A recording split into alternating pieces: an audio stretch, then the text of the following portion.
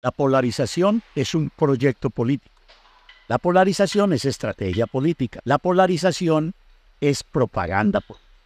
La polarización lo que pretende es que unos pensemos de una manera frente a otros que piensan de la otra manera y que esas maneras sean irreconciliables. Porque esa polarización genera fanatismo. Y el fanatismo no deja pensar. El fanatismo idiotiza. El fanatismo hace que quien ostente liderazgo, real o forzado, pues tenga una cantidad de seguidores que sin hacer ningún tipo de evaluación objetiva sigan lo que ese líder, por equivocado que esté, diga.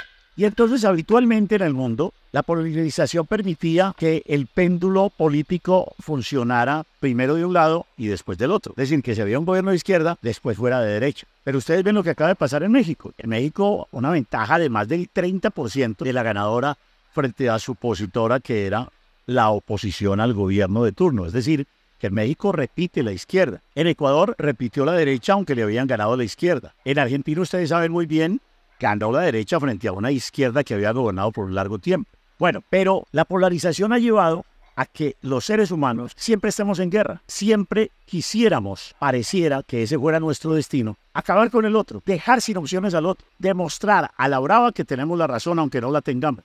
Y después cuando las guerras han desangrado los países en todas las épocas de la historia, llega un tiempo de aparente paz que no es paz, sino que es eh, como una recarga de odios. Y obviamente vuelven a alzarse banderas y obviamente la gente vuelve a pelear por causas que no son las suyas o que no hacen parte de su ADN conceptual. Polarización nos idiotiza. Y la pregunta es muy sencilla. ¿Usted respalda o no respalda a su presidente o a su presidenta por convicción, porque tiene reales argumentos de defensa. Porque cuando yo, por ejemplo, aquí opino sobre cualquier tema, cada rato me insultan y me maltratan diciendo, ¿y por qué no habla de tal? ¿Y por qué no habla de tal? ¿Y no habla de tal? Pues que estoy hablando de este hoy. Porque el hecho de que yo hable de uno no quiere decir que el otro sea mejor o que esté defendiendo al otro. No, puede que esté hablando de uno hoy muy malo y esté mañana hablando de otro que es peor y que sea contrario ideológico. No nos debemos idiotizar. La polarización lo que hace es chuparnos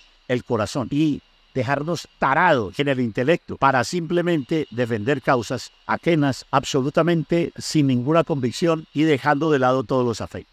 La polarización idiotiza.